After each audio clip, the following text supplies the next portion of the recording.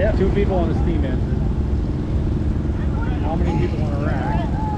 That's crazy. Mm-hmm.